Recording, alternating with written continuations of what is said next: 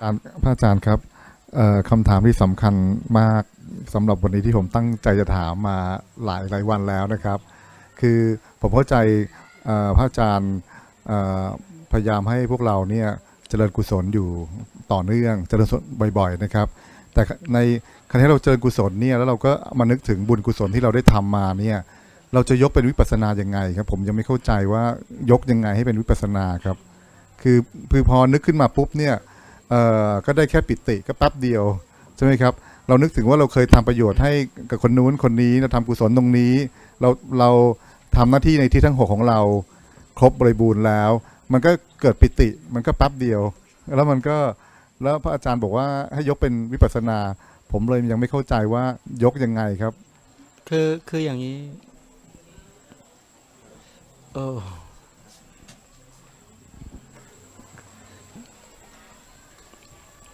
ในในประเด็นตรงนี้เราอาจจะที่ที่พยายามไม่ค่อยจะ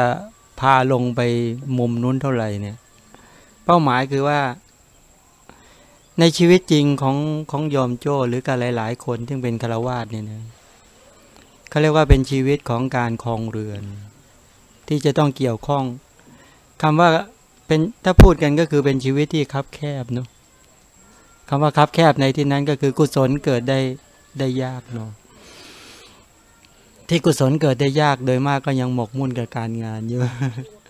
ยังหมกมุ่นกับการงานกับการที่จะต้องเกี่ยวข้องผู้คนอะไรต่างๆ เหล่านี้ สภาพจิตก็เลยไม่ค่อยพร้อมในการที่จะเดินกุศลได้สะดวก อย่างต่อเนื่อง ยกตัวอย่างเช่นว่าเราให้ทานมาก็มากไม่ใช่น้อย เจริญกุศลศีลทั้งจารีตศีลที่การประพฤติประโยชน์ ในการประพฤติต่อพ่อแม่ ประพฤติแต่ครูบาอาจารย์ประพฤติกับเพื่อน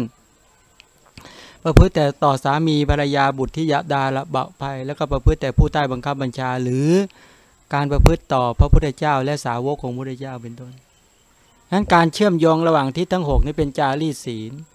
แต่การจะพัฒนาสู่วารีศีลบางท่านก็ได้บ้างไม่ได้บ้าง ตรงนี้อย่างยกตัวอย่างเช่นวันนี้เรามาเดินทานในกุศล แต่ถ้าถามบอกว่า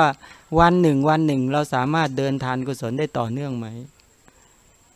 อย่าลืมนะว่าทานกุศลพูดตัวนี้นะอย่างเมื่อสักครู่นี้ว่า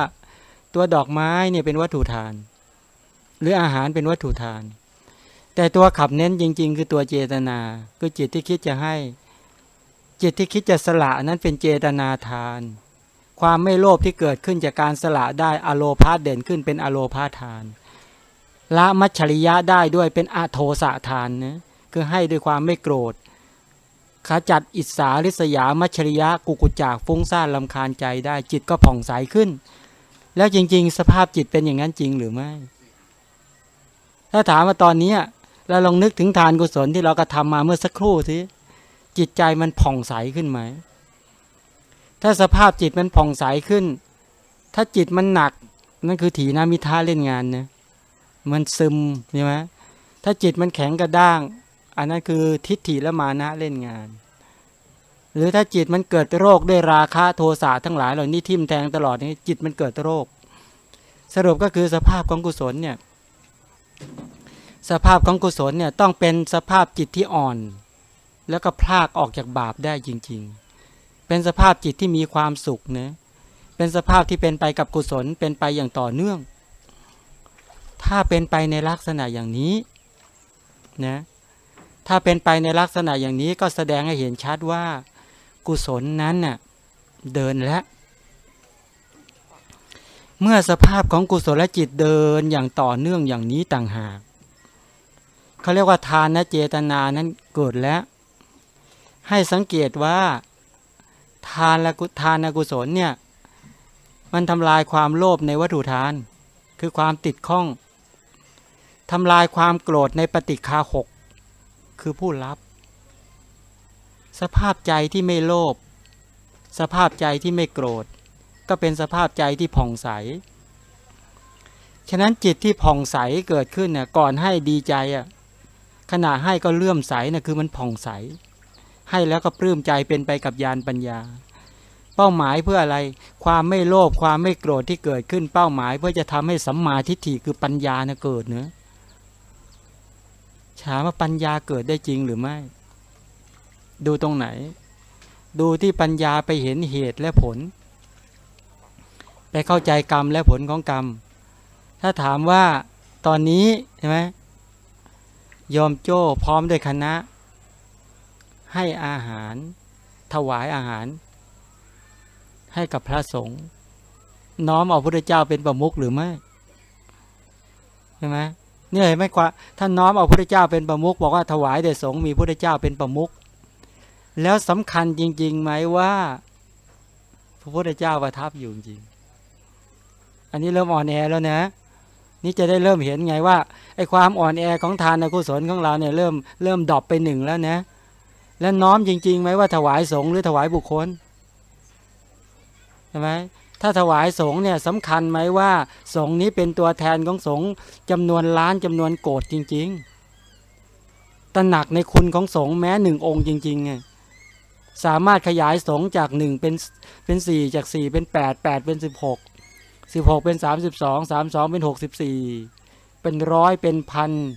เป็นหมื่นเป็นแสน เป็นโกดเป็นปะโกดเป็นต้นได้ อันนี้คือตัวแทนสังฆะนะที่ปรากฏต่อหน้าโยมโจ้อย่างเงี้ย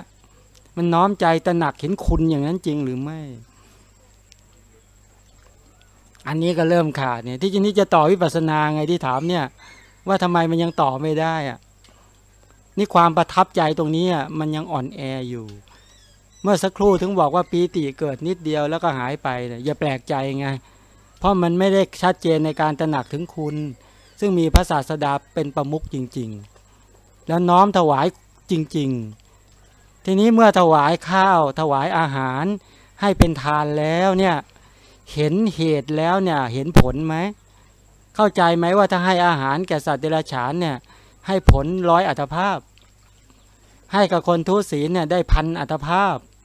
ให้กับคนไม่มีศีลปกติเนี่ยได้แสนอัตภาพ ให้กับคนมีสมาบัติภายนอกศาสนาแสนโกรธอัตภาพเนี่ยให้กับคนที่ เป็นคนมีศีลที่ตั้งตั้งเริ่มต้นตั้งแต่ประพฤติปฏิบัติตั้งแต่ถึงสารณคม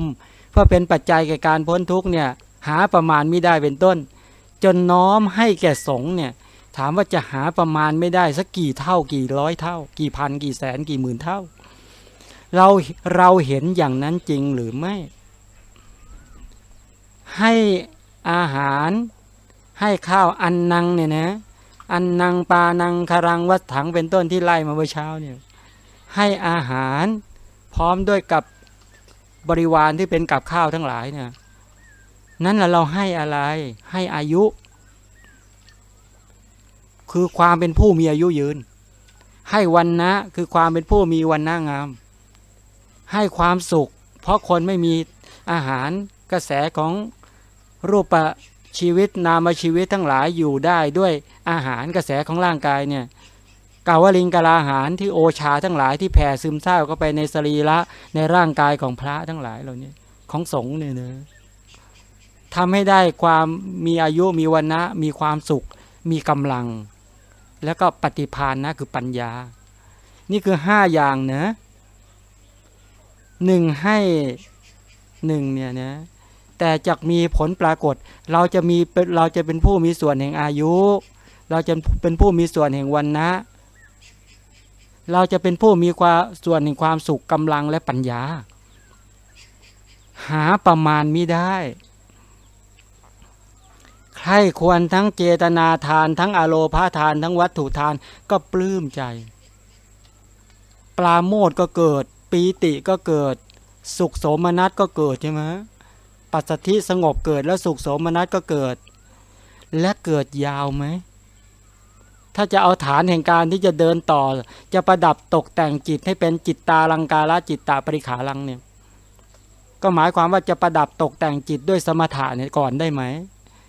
สมถะแปลว่าความสงบ ความสงบจากการนึกถึงอารมณ์นั้นน่ะถ้าออกจากที่ณที่ตรงนี้ไปนะ ตอนนี้จิตเบาจิตอ่อนจิตคลวนด้วยอำนาจของกุศล พอสมควรเนี่ย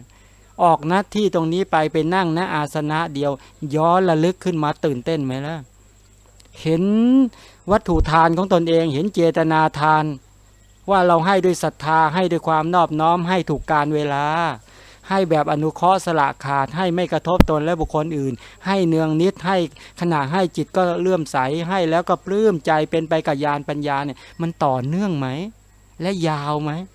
ยาวจนถึงขนาดข่มนิวรธานกามฉันทะไม่กุ้มรุม ความกำหนัดยินดีไม่กุ้มรุมด้วย พยาบาทก็ไม่กุ้มรุมจิต ทีนามิทะความหนักหน่วงของจิตก็ไม่กุ้มรุม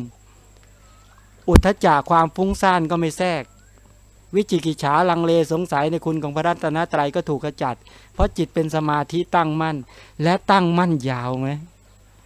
ถ้าตั้งมั่นยาวๆ แบบประเภทที่ตั้งได้เริ่มจาก 5 นาที 10 นาทีเป็น 20 นาที 30 นาทีเป็นชั่วโมงได้ นี้ไงคือประดับสมถะได้แล้ว อลังการะประดับจิตได้แล้ว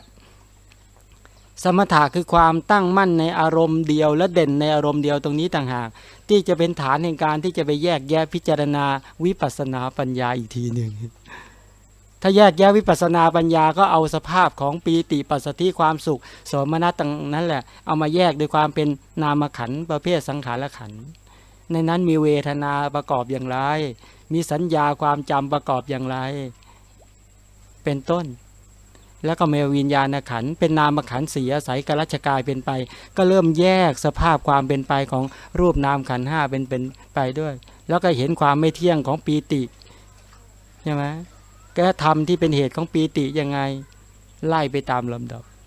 จนถึงละคายถ่ายถอนเห็นความไม่เที่ยงเป็นทุกข์เป็นอนัตตาของสภาพสรรพสิ่งทั้งหลาย ในราชกายและสิ่งภายในภายนอกได้มันเดินวิปัสสนาต้องไปมุมลักษณะนี้ดิที่ตรงนี้มันยังเดินไม่ได้ เพราะสมาธิเรามีแวบเดียวแวบเดียวเพราะจะมองเห็นอย่างมันเป็นอย่างนี้มันเป็นอย่างนี้ฉะนั้นถ้าเรานั่งเดินการเดินวิปัสสนากันเนี่ย มันยังเป็นอนาคตไกลเลยใช่ไหมนะไม่ไม่มากเท่าไหร่หรอกทำไมถึงไม่ยะไม่พยายามบอกเทที่แรกใช่ไหมเพราะเรายังไม่สามารถระลึกเป็นจาคานุสติ ที่ดิ่งในอารมณ์ได้เป็นชั่วโมงเลยอันนี้เขาเรียกว่า แค่ช้างสะบัดหูอะเนะงูแลบลิ้นก็ว่างั้นแต่อันนี้ก็บุญมหาศาล แต่ลองทำให้เกิดต่อเนื่องได้จริง ๆ ถามอะไรจะเกิดขึ้นใช่ไหมนึกถึงจาคานุสติ นึกถึงศีลานุสติอย่างใดอย่างหนึ่ง แล้วสามารถตั้งมั่นเป็นชั่วโมงได้แล้วบริหารจนคล่องแคล่วได้ อันนั้นต่างหากจะเป็นฐานในการเดินวิปัสสนาญาณต่อไป ถ้าทำให้ได้ตรงนั้นก็มานั่งคุยกันอีกทีดีไหม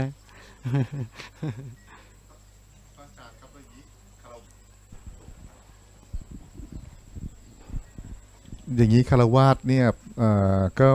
โอกาสน้อยมากที่จะได้บรรลุธรรมนะคอ๋รัอบไม่ใช่หน้อยเดี๋ยวจะเล่าคนที่มีโอกาสให้ฟังไหมครับในในในขณะที่เป็นเป็นเพศคารวาสนี่บรรลุธรรมได้เลยครับโอ้เพโหราะว่าเยอะแยะเลยเพเอาราะสิ่งงี้ที่นะมันกระทบเราทั้งคืออย่างนี้ว่า ในสาวัตถีมีประชากรเจ็ดสิบล้าน ได้เป็นพระอริยะห้าสิบล้าน เอาสิประเทศไทยนี่มีประชากรเจ็ดสิบล้าน ไม่รู้ปะฮะ ถ้าทำถูกน่าจะมีพระพระอริยะสักสักห้าล้าน ใช่ไหมอันนี้ไม่มีอะหรืออาจจะมีเนี่ย เพราะว่าเราเดินทานกุศลพลาดกันต่างหากเราเดินศีลกุศลพลาดต่างหาก